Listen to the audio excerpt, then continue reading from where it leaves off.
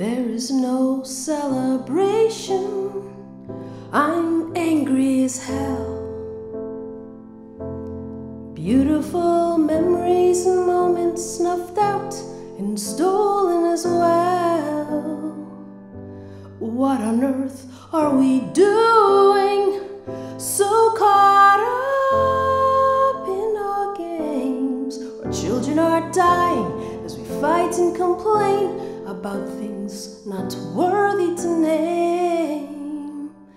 What would pure love say if God came down to join us today? How could we explain how greed, ego, and hate have replaced what was made and created in love's name?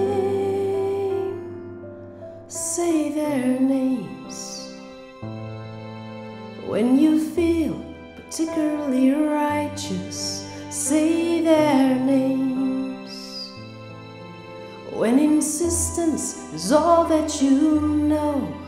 Make the change, it takes but a moment.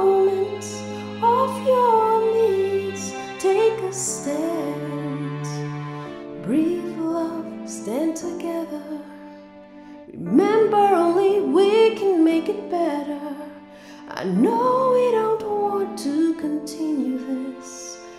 Let's do better. Say their names.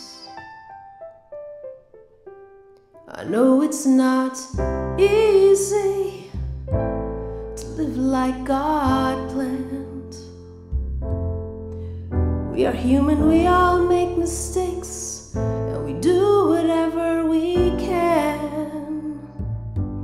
Let's try a little harder, beginning with me to learn and to live and make choices that make us all free and happy. Say their names when you feel particularly righteous. Say their names when insistence is all that you know. Make the change, it takes but a moment. Off your knees, take a stand.